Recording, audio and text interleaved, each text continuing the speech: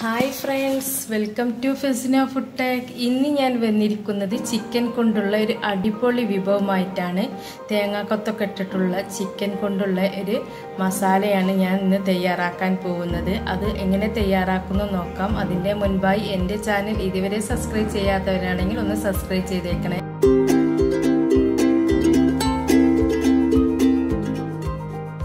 ആവശ്യമായ ഇൻഗ്രീഡിയൻസ് ആണ് ഇതൊക്കെ. ഒരു വലിയ തേങ്ങ ഇതേപോലെ നെയ്സാക്കി അരിഞ്ഞെടുത്തിട്ടുണ്ട്. പിന്നെ എടുത്തിട്ടുള്ള രണ്ട് വലിയ സവാള സ്ലൈസാക്കി അരിഞ്ഞതാണ്. ഒരേ വലിപ്പത്തിൽ സ്ലൈസാക്കി അരിഞ്ഞിട്ടില്ലെങ്കിൽ ഉള്ളി വേവ വലിയ പ്രയാസമായിരിക്കും. പിന്നെ എടുത്തിട്ടുള്ളത് ഇഞ്ചും വെളുത്തുള്ളിയും ഓരോ വലിയ ടേബിൾ സ്പൂൺ ഇഞ്ചും വെളുത്തുള്ളിയും മിക്സറിലൊന്ന് ഗ്രൈൻഡ് ചെയ്തെടുത്തിട്ടുള്ളതാണ്. പിന്നെ എടുത്തിട്ടുള്ളത് ആറ് വലിയ തക്കാളിയും കുറച്ച് പച്ചമുളകുമാണ് എടുത്തിട്ടുള്ളത്.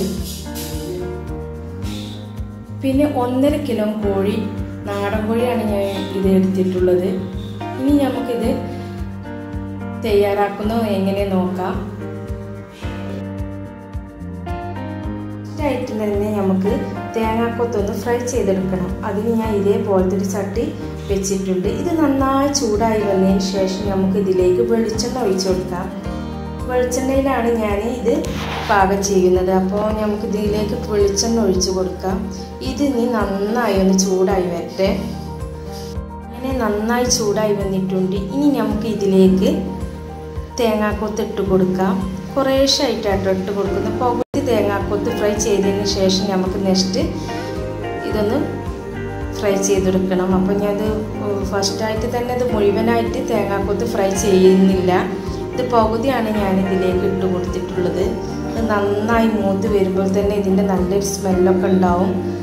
തേങ്ങാക്കൊത്താവുമ്പോൾ ഇത് എണ്ണയിലിട്ട് നിന്ന് ഫ്രൈ ചെയ്യുമ്പോൾ നല്ലൊരു സ്മെല്ലാണ് കേട്ടോ വന്നിരിക്കുന്നത്.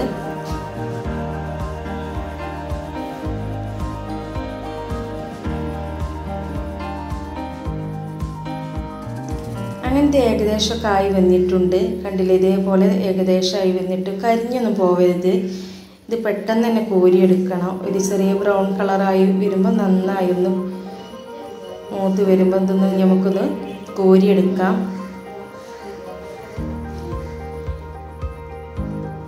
ഈ ഒരു ഇതിലാവുമ്പോഴേ നമ്മളിത് കോരിയെടുക്കാവൂ. അധികം ബ്രൗൺ കളറായി വരണ്ട. അങ്ങനെ നമ്മളിത് ഫുള്ളായിട്ട് ഇത് കോരിയെടുത്തതിന് ശേഷം നമുക്ക് നെക്സ്റ്റ് ബാക്കിയുള്ള തേങ്ങ കൊത്തും ഇതിലേക്കൊന്ന് ഫ്രൈ ചെയ്തെടുക്കണം.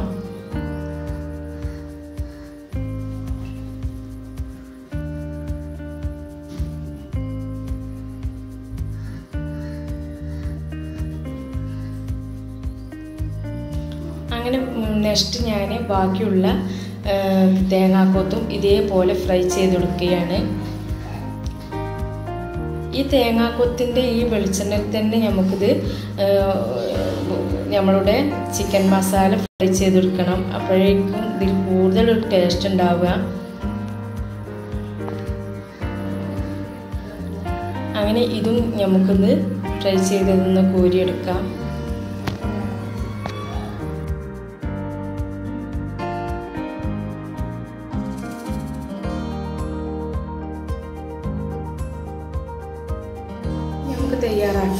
ഞാൻ ഇതിലേക്ക് ഒരു കുക്കറാണ് എടുത്തിട്ടുള്ളത്. നമ്മൾ നാടൻ കോഴിയൊക്കെ വെന്ത് കിട്ടാൻ വേണ്ടി നമുക്ക് കുക്കർ തന്നെ ഉപയോഗിക്കേണ്ടി വരും. നല്ല വേവാണല്ലോ നാടൻ കോഴിക്ക് അപ്പോൾ ഞാൻ ഇതേപോലത്തെ കുക്കർ വെച്ചിട്ടുണ്ട്. ഇനി നമുക്ക് നേരത്തെ ഫ്രൈ ചെയ്തിട്ടുള്ള ആ എണ്ണ ഉണ്ടല്ലോ. കോക്കനട്ട് എണ്ണ. ആ എണ്ണ കൊക്ക തേങ്ങാക്കൊത്ത് ഫ്രൈ ചെയ്തിട്ടുള്ള ആ എണ്ണ ഇതിലേക്ക് ഒഴിച്ചു കൊടുക്കാം. അപ്പോൾ ഇത് കൂടുതലൊരു ടേസ്റ്റ് ആയിരിക്കും.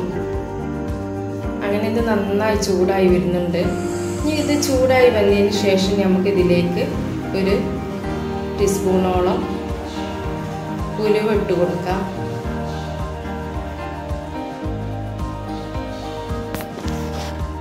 അങ്ങനെ ഇതിലേക്ക് ഉലുവ ഇട്ട് കൊടുത്തത് നന്നായി ബ്രൗൺ കളറായി വന്നിട്ടുണ്ട്.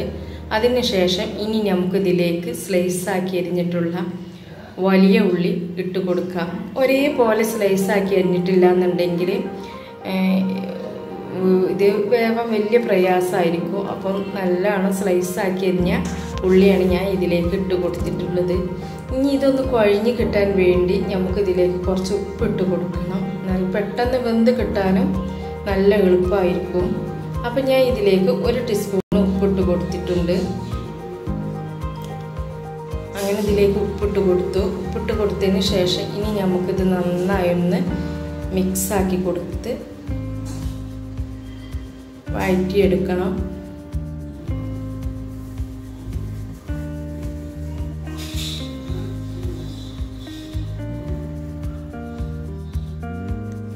കണ്ടില്ല? ഉപ്പിട്ട് കൊടുത്തുകൊണ്ട് പെട്ടെന്ന് തന്നെ അത് വഴന്ന് കിട്ടാനും എളുപ്പമായിരിക്കും.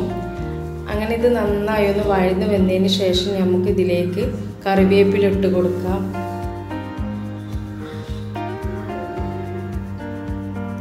കറിവേപ്പില ഇട്ട് കൊടുത്ത് നന്നായി ഒന്ന് മിക്സാക്കി ഒന്ന് ഇളക്കി കൊണ്ടിരിക്കണം.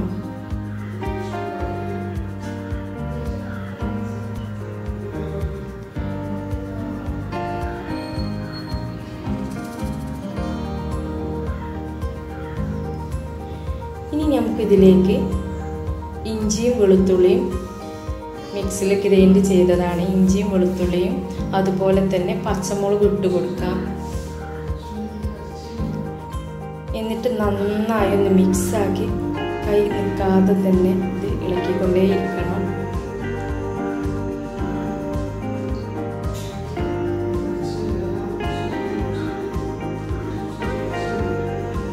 അങ്ങനെ ഈ ഇഞ്ചിയും വെളുത്തുള്ളിയും പച്ചമുളകൊക്കെ നന്നായി വഴന്നു വന്നിട്ടുണ്ട്. ഇനി നമുക്ക് ഇതിലേക്ക് തക്കാളി മിക്സിയിൽ ഗ്രൈൻഡ് ചെയ്ത് എടുത്ത ജ്യൂസാണിത് തക്കാളി പേസ്റ്റാണിത് തക്കാളി മിക്സിയിൽ ഒന്ന് അടിച്ചെടുത്തിട്ടുള്ള തക്കാളി ഇതിലേക്ക് ഇട്ട് കൊടുത്ത് നന്നായി ഒന്ന് വഴറ്റിയെടുക്കാം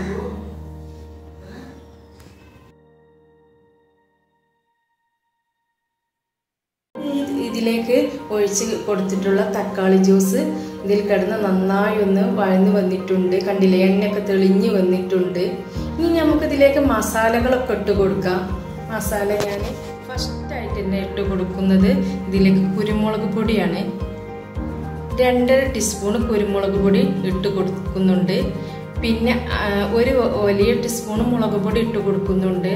അപ്പോൾ കുരുമുളകും അതുപോലെ തന്നെ മുളകും പൊടിയും പച്ചമുളകൊക്കെ കൂടുതൽ എരിവുണ്ടാവില്ലേ തോന്നലുണ്ടാവും പക്ഷെ നാടൻ കോഴി ആകുമ്പോൾ കുറച്ച് അധികം എരിവ് തന്നെ വേണം. അല്ലെങ്കിൽ ഈ കോയിലേക്കൊക്കെ ഒന്ന് പിടിച്ചിറങ്ങി കിട്ടണമെന്നുണ്ടെങ്കിൽ കൂടുതൽ ടൈം എടുക്കും. അപ്പോൾ ഇതിലേക്ക് ഞാൻ ഇത്രത്തോളം എരിവ് ഇടാനാണ് ഇട്ടത്. അതുകൊണ്ടാണ്. ഇനി നമുക്ക് ഇതിലേക്ക് അര ടീസ്പൂൺ മഞ്ഞൾപ്പൊടിയും അതുപോലെ തന്നെ അര ടീസ്പൂൺ പെരിജീരകപ്പൊടി ഇട്ട് കൊടുത്തു.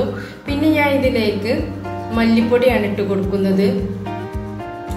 മല്ലിപ്പൊടി ഞാനൊരു മൂന്ന് ടീസ്പൂൺ മല്ലിപ്പൊടി ഇട്ട് കൊടുക്കുന്നുണ്ട്.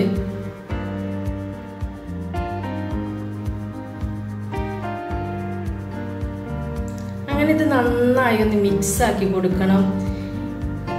ചെറിയ ഫ്ലെയിമിൽ തന്നെ ഈ മസാലകളൊക്കെ ഈ ഒന്ന് വറുത്തെടുക്കണം. പിന്നെ ഞാൻ നേരത്തെ വഴറ്റിയെടുത്ത് ഇപ്പോൾ കുറച്ച് ഉപ്പാണ് ഇട്ട് കൊടുത്തിട്ടുള്ളത്. അപ്പോൾ അത് കുറച്ച് കമ്മിയായിരിക്കും. അപ്പോൾ ഞാൻ വീണ്ടും കുറച്ചും കൂടി ഞാൻ ഉപ്പിട്ട് കൊടുത്തിട്ടുണ്ട്. ഇനി വേണമെന്നുണ്ടെങ്കിൽ നമുക്ക് പിന്നീട് ആഡ് ചെയ്യാം. ഇനി ഇത് നന്നായി ഒന്ന് മിക്സാക്കി ഈ മസാലക്ക് നന്നായി വറുത്തെടുക്കണം ഇതിൽ ചെറിയ ഫ്ലെയിമിൽ വേണം കേട്ടോ അത് വറുത്തെടുക്കുക അല്ലെങ്കിൽ കരിഞ്ഞൊക്കെ പോകും. മസാലയൊക്കെ ഇട്ട് കൊടുത്തതല്ലേ. ഇനി നമുക്ക് ഇതിലേക്ക് ചിക്കൻ ഇട്ട് കൊടുക്കാം. ചിക്കൻ ഇതേപോലെ ചെറിയ പീസാക്കി എടുത്ത ചിക്കനാണ് കേട്ടോ ഈ നാടൻ കോഴി ആകുമ്പോൾ കൂടുതൽ വേവാൻ വലിയ പ്രയാസമായിരിക്കും അപ്പോൾ അതുകൊണ്ടാണ് ഇത് കുക്കറിലിട്ടൊന്ന് വേവിച്ചെടുക്കുന്നത്. ഇനി നന്നായി ഒന്ന് മിക്സ് ആക്കി എടുക്കണം. ചിക്കനിലോട്ട് ഈ എരിവും അതുപോലെ തന്നെ ഉപ്പൊക്കെ പിടിച്ച് കിട്ടണമെന്നുണ്ട് ഇതേപോലെ ഒന്ന് വഴറ്റിയെടുക്കുക. ഇനി നമുക്ക് ഇതിലേക്ക് കുറച്ച് വെള്ളം ഒഴിച്ച് കൊടുക്കണം. നാടൻ കോഴി ആകുമ്പോൾ പിന്നെ കൂടുതൽ വേവായിരിക്കും. അതുകൊണ്ട് കുറച്ച് വെള്ളം ഒഴിച്ച് അധികമൊന്നും വെള്ളം ഒഴിച്ച് കൊടുക്കണ്ട. കുറച്ച് വെള്ളം ഒഴിച്ച് കൊടുത്താൽ മതി. അങ്ങനെ ഇത് വെള്ളവും അതുപോലെ മസാലയൊക്കെ ആയി ഒന്ന് ലെവലായി വന്നിട്ടുണ്ട്. ഇനി നമുക്ക് നേരത്തെ ഫ്രൈ ചെയ്തെടുത്തുള്ള തേങ്ങാക്കൊത്ത് ഇതിന്റെ മേലായിട്ട് ഒന്ന് ഇതേപോലെ ഒന്ന് ഇട്ട് കൊടുക്കാം. അതിന്റെ മേലായിട്ട് തന്നെ കറിവേപ്പില ഇട്ട് കൊടുക്കാം. ഇത് മിക്സ് ചെയ്യേണ്ട ആവശ്യമില്ല. അതിന്റെ മേലായിട്ട് ഇട്ട് കൊടുത്താൽ മതി. ഇനി നമുക്ക് ഇതിൽ എട്ട് വിസിൽ വരുന്ന വരെ ഒന്ന് വേവിച്ചെടുക്കണം. അടപൊഴി കോഴി ആകുമ്പോൾ വേവാൻ വലിയ പ്രയാസമായിരിക്കും ഇനി ഞാൻ എട്ട് വിസിൽ വന്നതിന് ശേഷം തുറന്ന് നോക്കുകയാണ്. തുറന്ന് നോക്കി ഇപ്പോൾ ഇതിൽ കുറച്ച് വെള്ളമൊക്കെ ഉണ്ട്. അപ്പോൾ ഈ വെള്ളം ഒന്ന് വറ്റിച്ചെടുത്താലേ നമുക്കൊരു മസാല രൂപത്തിൽ ഈ ചിക്കന് ആവത്തുള്ളൂ. അപ്പോൾ അത് നന്നായി ഒന്ന് മിക്സ് ആക്കി കൊടുക്കണം. മിക്സ് ആക്കി കൊടുത്തതിന് ശേഷം നമുക്ക് ഈ വെള്ളം ഇതിൽ കിടന്ന് തന്നെ ഒന്ന് വറ്റിച്ചെടുക്കുക. അങ്ങനെയാണ് ഇത് ചിക്കൻ മസാല ആവുള്ളൂ. ഇന്നത്തെ അടിപൊളി ചിക്കൻ മസാല അഥവാ തേങ്ങാപ്പൊടി ചിക്കൻ മസാല റെഡി ആയി വന്നിട്ടുണ്ട്. ഇത് ചോറിന്റെ കൂടെയും അതുപോലെ തന്നെ വെള്ളപ്പത്തിന്റെ കൂടെയും ചപ്പാത്തിന്റെ കൂടെ എല്ലാത്തിന്റെ കൂടെയും കഴിക്കാം. അത്രയ്ക്ക് വളരെ ടേസ്റ്റി ആയിട്ടുള്ള ഒരു ചിക്കൻ മസാലയാണ്. അപ്പോൾ നിങ്ങളെല്ലാവരും ഇതൊന്ന് ട്രൈ ചെയ്ത് നോക്കണം.